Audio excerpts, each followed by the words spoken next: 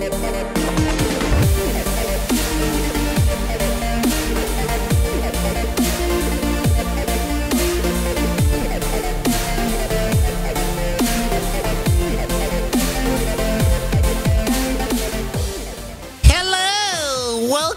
my fellow Pokémon-Fans. Äh, schön, dass ihr wieder da seid. Wir sind wieder am Start mit unserem Team. Chillabell, Vulnona, Kaokto, Siberio, Glaciola und Vulaoso. Und wir haben einen sehr interessanten Gegner heute. Einen Chinesen? Ich weiß es nicht. Auf jeden Fall hat er einige Ultra-Bestien dabei. Unter anderem äh, Kaguron und... Oh Gott, wie hieß es? Stein, Giftmon? Ich weiß es nicht mehr. Am A irgendwas mit A. Ähm, ein Alola Knogger, ein Wulaosu, äh, einen Screener und den Pflanzenaffen. Das ist sehr interessant, Freunde. Wir entscheiden uns dann wahrscheinlich mal für den Lead, den wir immer nehmen oder so. Ich weiß es nicht. Ich weiß es nicht, Mann. Wir brauchen auf jeden Fall ein Pokémon. Okay, nee, doch. Siberio. Ey, goddammit, ich brauche Wulaosu für seinen Knogger. Das kann halt nicht sein, dass ich immer die gleichen Pokémon mitnehme. Aber Glaciola und äh, Dingens, Kaokto, liefern so gefühlt gar kein Value, Alter. Vielleicht bin ich auch zu stupid. Vielleicht erkenne ich den Value nicht. Woo, let's go! Hype!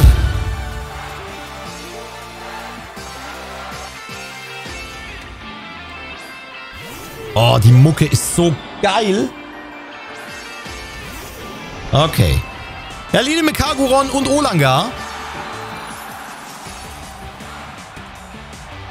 Alter, Kaguron ist eigentlich so ein hässliches Mon, ne? Schaut euch mal seinen dünnen Hals an, ey. So, ähm... Ja, Vulnona wird sowas von safe gegen Kaguron sterben. Wir könnten Eiseskelten. Wir könnten das Kaguron Eiseskelten. Aber dann haben wir keinen Schleier.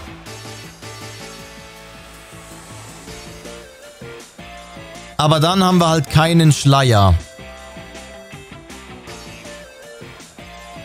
So, machen wir einfach mal. Komm, scheiß drauf. scooby dooby dooby doop doop doop doop doop die Frage ist, was wird er tun? Er wird auf jeden Fall den Gyro Ball oder so drücken. Ich weiß gar nicht mehr, was Kaguron genau macht. Den Stahlmove, den, der uns vierfach weg, wegzünden wird. Vielleicht überleben wir wegen den Screens. Die vierfache Attacke. Who knows? Und dann könnten wir noch einen Versuch starten, das Ding zu Eiseskelten. Oder nicht. Oder nicht. Warte mal, Kaguron hat mit Stahl, Flug, Steps sehr gute Dynamax-Moves. Init und Verteidigung wird erhöht. Und das ist ziemlich böse. Und er wird Licht schilden. Nein, er geht für den Mogelhieb. Oh, wow.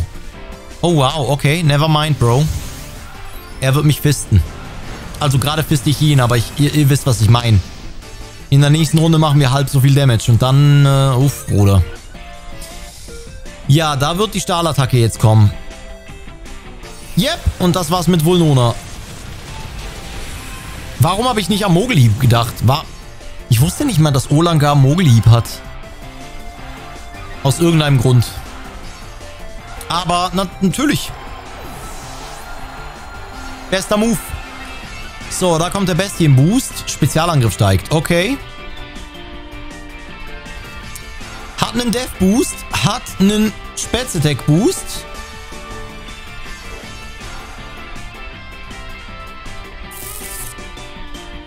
Ja, das werden wir safe verlieren. Das Match werden wir sowas von safe verlieren.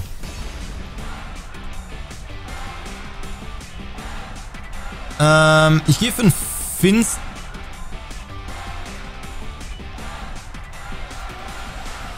Er kann halt den, den, den... Wir haben keinen Schleier draußen. Das heißt, wir können nicht aufsetzen, Alter.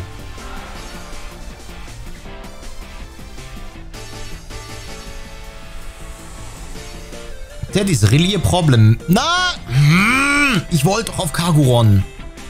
Ich wollte doch auf Kaguron. Er spielt eh keine Rolle. Wir verlieren sowieso. Schwerschweif. Oh. Well, das bedeutet, wir sind immer noch Erster. Oha. Ja, ich wollte Kagoron chippen und dann mit Wulaosu auf plus 1 reinkritten, aber... Damn, Digga. Dead Damage. So, da kommt die Düse auf Wulaosu. Müssen wir gar nicht drüber reden. Das killt, nachdem wir den Dingens nicht aufsetzen konnten. Hm, wir hätten... Was hätten wir anders spielen können? Wir hätten maybe Chillabell sacken können für Vulnona, aber... Um ehrlich zu sein, so einen Riesenunterschied hat es dann auch nicht gemacht, ne? Das Ding ist einfach gemeingefährlich.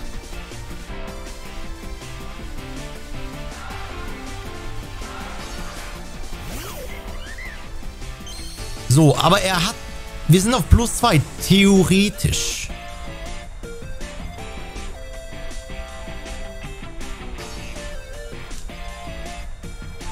Theoretisch gesehen, okay? Können wir jetzt einen Double Kill absnacken, wenn er uns nicht outspeedet. Und wenn er jetzt nicht für den Reflektor geht. Reflektor würde halt jetzt alles zerficken, ne?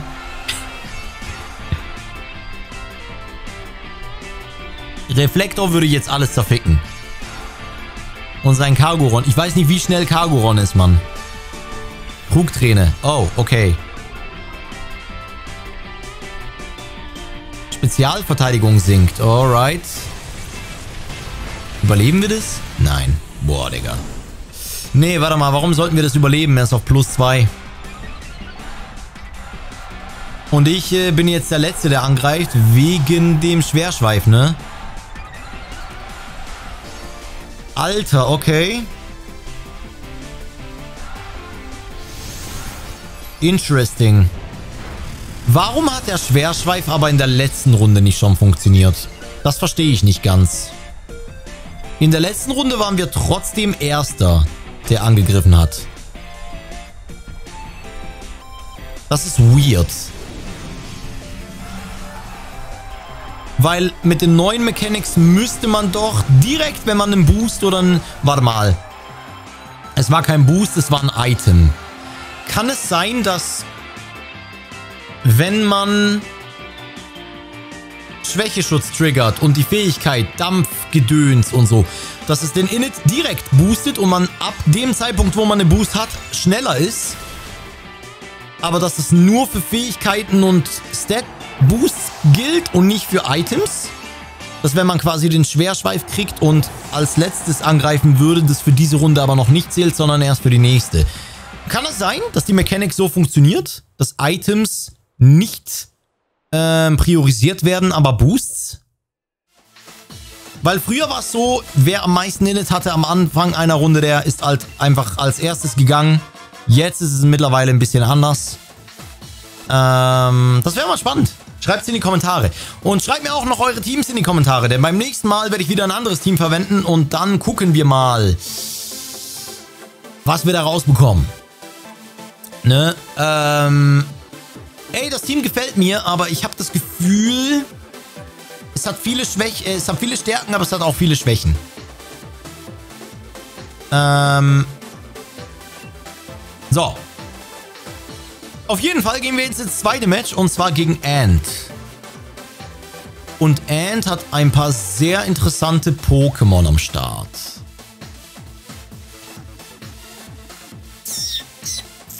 Und auch hier ist Glaciola absolut useless, weil die alle physisch angreifen, außer Porygon Z. Und maybe äh, X-Bart, wenn es ein, ein, spezielles ist, was aber eher so ein, ne? Aber ein sehr interessantes Team. Ich habe noch nie einen Scarabon gesehen, glaube ich, in den Wi-Fi Battles. Ohne die Mega vor allem, ne? Ja, gut. Ich meine, Wenn er halt wieder mit Pestragon leadet.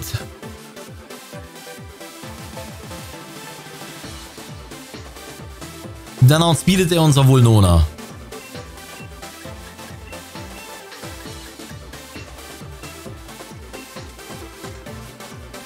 Aber wir brauchen Vulnona und Siberio. Äh, es gibt nicht wirklich viele andere Möglichkeiten zu leaden, ne? Weil einfach die, die, die Hagel-Kombo so gut ist. Beziehungsweise die Hagel-Kombo ist das, was das Team stark macht.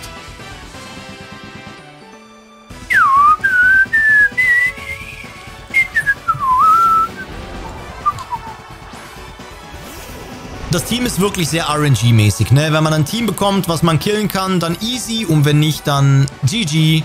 Ne? Genauso wie äh, trifft man die Eiseskälte oder nicht. Das ist alles sehr RNG-lastig. Ähm, okay. Dann killen wir mal das Crowbat. Er wechselt nicht raus, das heißt, es ist auf jeden Fall ein totes Crowbat. Sogar wenn es Dynamax bin ich mir nicht sicher, ob er es überlebt. Ähm, worst case, Crowbat outspeedet unser Volnona, geht auf den Kreuz, äh, geht auf den X, auf den fucking Toxic Move und crittet und killt uns. Und äh, hat einen Sash oder so. No, okay. Never mind, let's go. Dann hätten wir nämlich den Schleier nicht rausgebracht und Beware könnte unser Siberio einfach ziemlich easy weghitten. Aber er ist nicht mal gedynamaxed, ne? Er ist nicht mal gedynamaxed. Ja, der Dynamax-Kampf-Move ist halt echt... Der Dynamax-Kampf-Move ist gleichzusetzen mit dem Steigerungshieb. Der Hit an sich ist nicht stark. Ne, Steigerungshieb hat 40 Stab, also 40, 40 äh, Stärke. Außer du hast Stab, dann hast du 60. Der Dynamax Move hat 80. Uh, fancy, Digga. Der Dynamax Move hat 80, ne? Während andere 120, 130, 140 haben.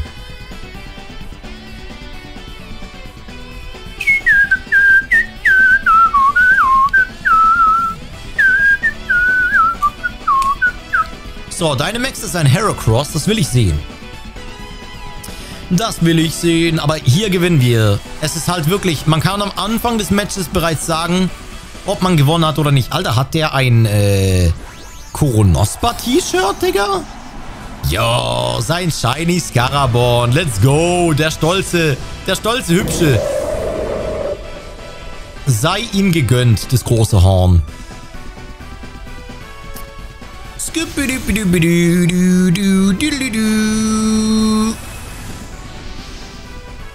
So, wir kriegen einen Artika Boost auf unser Beware, äh, auf unser Beware, auf unser Siberio, auf den Eisbär. Beware stirbt. Heracross hat keinen Schwächeschutz. Nope. Geht einfach auf die Deiner Faust. Okay was gefährlich ist, aber wir haben natürlich den Schleier.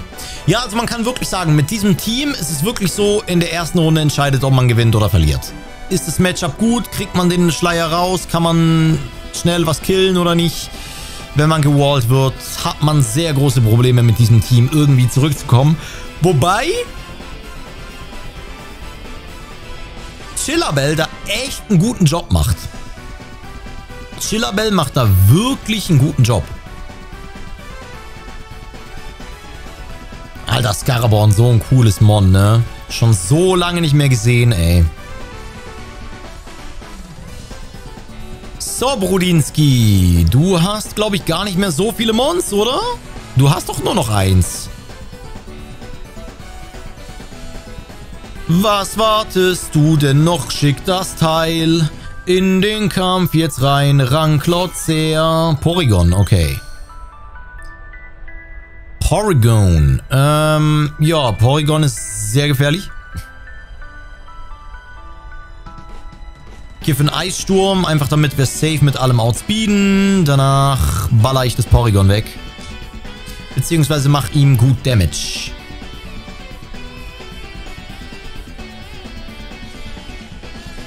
Das Heracross werden wir jetzt... Ich meine, I guess, ich hätte Heracross finishen können. Aber Porygon ist ehrlich gesagt ein großer Threat, ne? Hat das Ding normal Juwel, Hyper Beam oder, oder irgendwie Triplette oder so, das zündet halt schon weg. Und gegen Heracross, wobei Heracross kann auch Käferattacken. Aber er outspeedet uns nicht.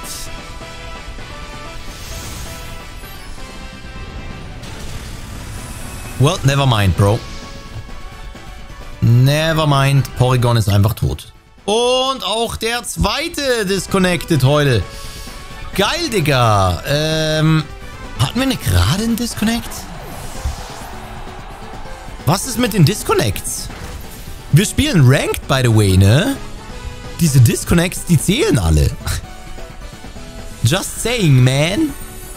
Ja, das wird resistiert. Da hat er ein bisschen, da hat er ein bisschen missplayed, ne? Da hat er ein bisschen missplayed, der Junge. Was ist mit den Disconnects, Alter? Schade. Aber ey, Respekt für Heracross, Mann. Heracross finde ich richtig, richtig knorke. So, Freunde, wir machen jetzt noch ein Match. Aber nur, wenn ihr einen verdammten Daumen da lässt. Expertengurt. Hexaplager.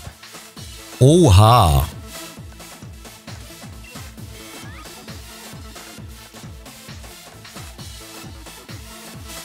Er hat tatsächlich den Hyperbeam gehabt. Mit Anpassung und dem Metronom. Ah ja, okay.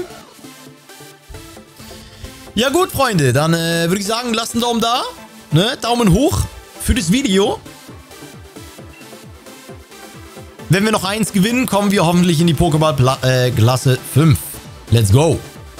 Finally eine positive äh, KD. Äh, und schreibt mir eure Teams in, den, in die Kommentare, Freunde. Ne? Wenn ihr ein Team habt, dann einfach ab in die Kommentare damit. Und by the way, auf äh, Gameboy machen wir gerade genau dasselbe. Wir ranken und lettern einfach nur in Yu-Gi-Oh! Also falls ihr euch für Yu-Gi-Oh! interessiert, ab auf den Zweitkanal. So, wir haben... Oh mein Gott. Nee, es tut mir leid. Siberio Volnona sind prädestiniert. Wir kriegen Guardjump weg damit die ganzen Steinmons können wir Steinkanten. Es ist einfach nur wunderbar, wunderschön, was wir hier machen können. Chillabell outspeedet halt Glurak im Falle eines Falles. Kann Volnona gut treffen. Ähm, kann sogar Garchomp gut treffen. Alter, Chillabell ist tatsächlich besser, als ich dachte, ne? So, Kaokto. Ich will Glaciola und Kaokto mitnehmen, aber irgendwie machen die... Ah.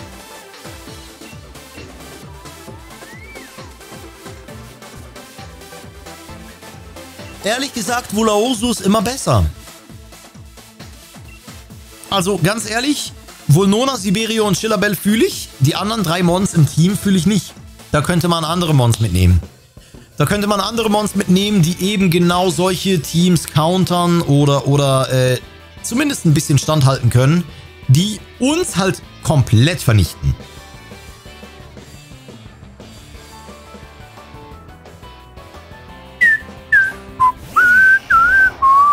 So, die Star-Legende Glurak kommt gleich in den Kampf.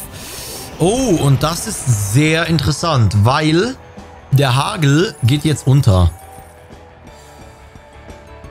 Wegen der Sonne. Das hätte ich... Warum habe ich das... Warum habe ich Kurtel so krass ausgeblendet? Kurtel habe ich gar nicht gesehen. Lol. Das ist tatsächlich sehr, sehr schlecht für uns. Ähm... Er wird sehr wahrscheinlich für den Dynamax gehen. Well, wir double switchen. Wir brauchen den Hagel, sonst machen wir gar nichts.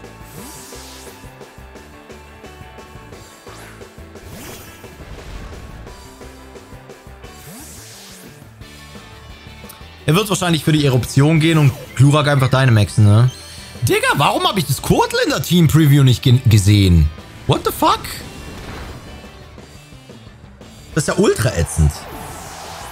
So, Freunde, willkommen in VGC 2021, wo Glurak mit einer Hitzewelle einfach äh, ein Double KO scored, Digga. Let's go. So, ähm, ja, mal gucken, ne, was jetzt passiert. Digga, da hat sogar die Musik aufgehört.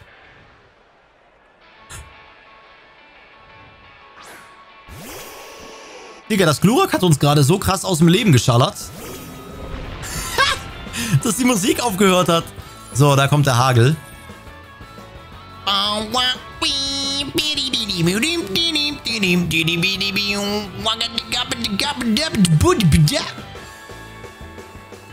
So, nein, nicht auf Glurak. Oder doch auf Glurak? treffen müssen. Steinkante muss der Zell treffen. Er wird Talkhole rausswitchen. Nicht? Wow. Und wir verfehlen Glurak wieder. Das gibt's doch nicht, Mann. Ich hasse mein Leben. Das wäre das Comeback gewesen jetzt einfach. Und er verfehlt aber Siberio. Okay. Well, die verfehlen sich gerade beide. Ja, und die Nightflammen hätten ohne die Hitzewelle nicht gereicht, ne? Auch so hat's nicht gereicht. Well, my G, dann äh, fuck you, man. Wenn du so krass dringend willst, dass ich verliere, Alter, dann verlieren wir eben. Er wird jetzt Glurak wechseln.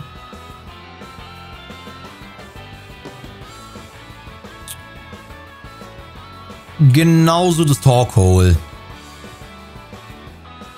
Und deswegen gehe ich für den Eissturm. Er wird nicht wechseln, okay. Interesting. Ja, again, guys, wir haben sowieso verloren.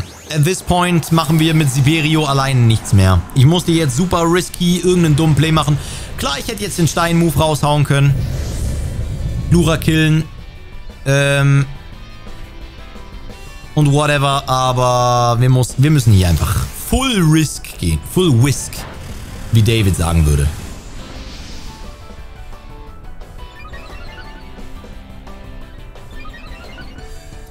So, er hätte jetzt halt rauswechseln müssen. In der nächsten Runde reinwechseln oder so. Dann hätte ich äh, was machen können. Mit dem Sandsturm und so. Aber er hat noch nicht mal gedynamaxed. Also er hat uns einfach nur mit dem normalen Glurak zerstört. Das ist genau das, was ich meine. Entweder du verlierst krass mit diesem Team oder nicht. Digga, er verfehlt schon wieder das Siberio. Okay. Please, Game Freak. Macht mal einen hexfreien. Die Musik ist wieder weg. Warum ist die Musik weg? Warum ist die Musik weg, wenn Vulnona weg ist? Ja, weil das Game over ist, ne? Wenn Vulnona weg ist. Hallo, Musik? What the fuck? Ja, äh, Nightflam GG. Nightflammen sind ein sehr guter Move hierfür. Generell.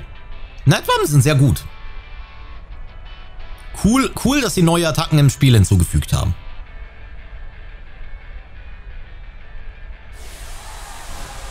Ja, es ist episch. Oh mein Gott.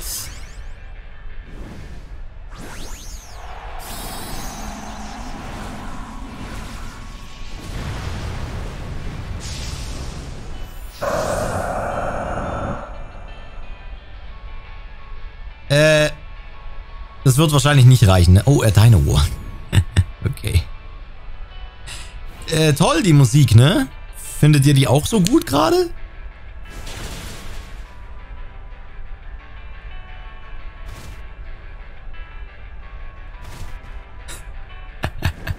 Was ist hier los, Digga?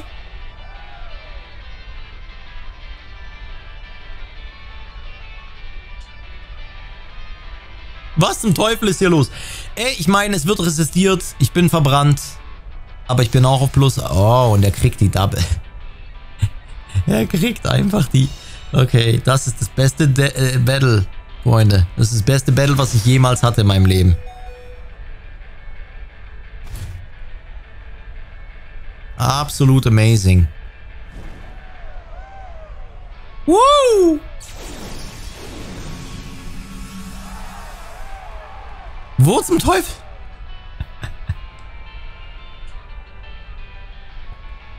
Komm, triff jetzt die Steinkante, Digga.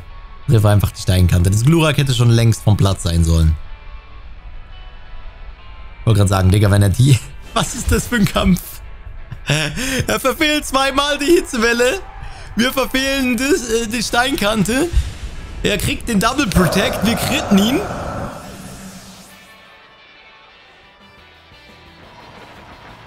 Jetzt kommt die Musik wieder? Digga, ich raff's nicht.